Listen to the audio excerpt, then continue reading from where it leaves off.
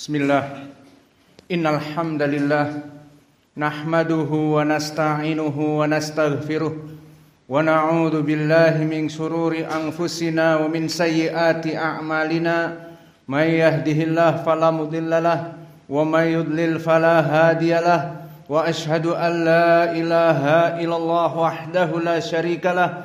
وأشهد أن محمدا عبده ورسوله. يا أيها الذين آمنوا اتقوا الله حق تقاته ولا تموتن إلا وأنتم مسلمون. يا أيها الناس اتقوا ربكم الذي خلقكم من نفس واحدة وخلق منها زوجها وبث منهما رجالا كثيرا ونساء واتقوا الله الذي تساءلون به والأرحام إن الله كان عليكم رقيبا. يا أيها الذين آمنوا اتقوا الله وقولوا قولا سديدا. يصلح لكم أعمالكم ويغفر لكم ذنوبكم ومن يطع الله ورسوله فقد فاز فوزا عظيما. أما بعد فإن أصدق الحديث كتاب الله وخير الهدى هدي محمد صلى الله عليه وعلى آله وسلم وشر الأمور محدثاتها fa inna kulla muhdatsatin bid'ah wa kulla bid'atin dalalah wa kulla dalalatin finnar. Iyadan billahi minan nar. Naam ya ibadallah sidang Jum'ah yang berbahagia. Diriwayatkan oleh Imam Abdul Razak di dalam tafsirnya dari riwayat Ma'mar an rajulin an Ibni Mas'ud.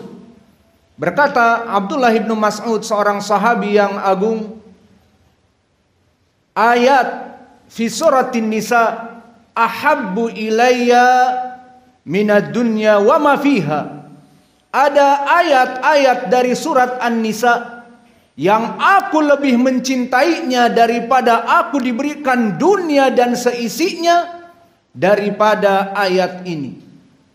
Maka di dalam sanad ini dhaif ada rajul mubham namun telah datang diriwayatkan oleh Imam Al-Hakim dari jalan Ma'an Ibni Abdurrahman Ibni Abdullah Ibni Mas'ud dari bapaknya Abdurrahman Ibni Abdullah Ibni Mas'ud dari Abdullah Ibni Mas'ud. Maka jalan yang kedua di sini jalan yang sahih.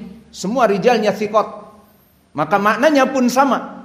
Bahwa aku mendapati ayat pada surat An-Nisa yang mana surat itu lebih aku cintai daripada dunia dan seisinya jika diberikan kepadaku.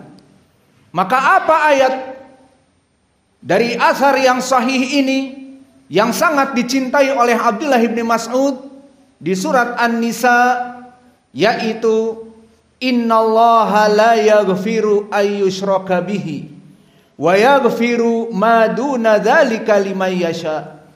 Maka pada kesempatan sekarang ini kita akan mengeksploitasi dan meng eksplorasi dari makna ayat ini dikarenakan sanadnya sahih maka ayat ini di alinea yang pertama disebutkan innallaha la yaghfiru an yushraka bihi. Bahwa sungguhnya Allah pasti tidak akan pernah mengampuni manusia yang mati dalam keadaan kesyirikan. Dan di alinea yang kedua disebutkan dan Allah masih mau memberikan ampunan dari perbuatan selain kesyirikan bagi orang-orang yang mati dalam keadaan su'ul khatimah. Maka ini ayat yang agung.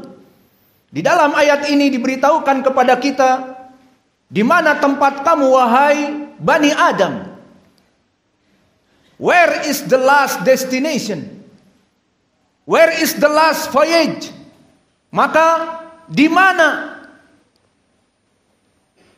perjalanan terakhirmu.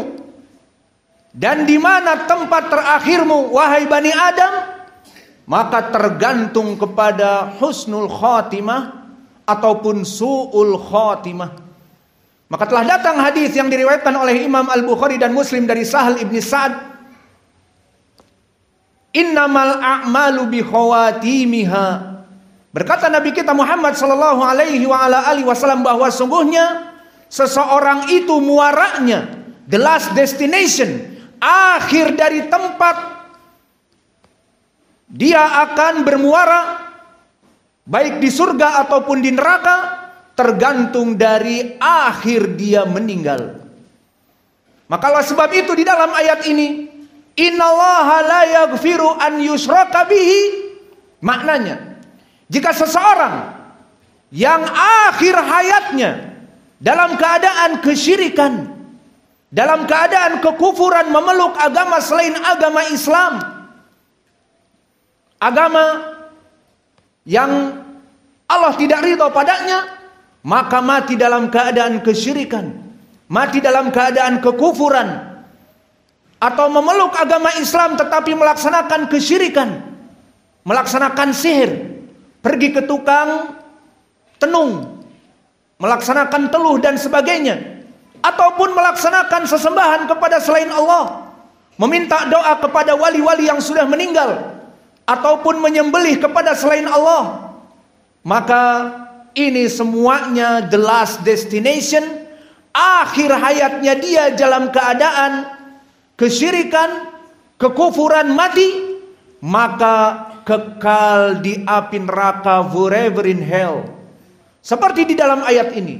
Innallaha la yaghfiru an yushraka bihi. Maka di alinea pertama dari ayat yang sangat dicintai oleh Imam Ibnu Mas'ud seorang sahabi yang jalil karena ketegasannya. Di mana Allah menegaskan tidak ada basa-basi.